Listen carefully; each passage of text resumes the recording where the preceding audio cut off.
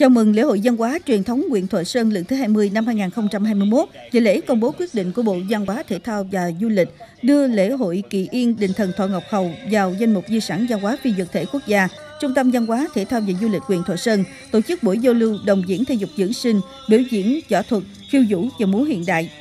Các câu lạc bộ đã đồng diễn thể dục dưỡng sinh, biểu diễn hơn 10 tiết mục đặc sắc với nhiều hình thức như múa dưỡng sinh trên nền nhạc, biểu diễn các bài quyền, khiêu vũ thể thao với chủ đề ca ngợi đảng Bắc Hồ, tình yêu quê hương đất nước, qua đó góp phần khích lệ người cao tuổi trên địa bàn, tích cực rèn luyện sức khỏe, nâng cao đời sống tinh thần, để mạnh phong trào thể dục dưỡng sinh trên địa bàn huyện ngày càng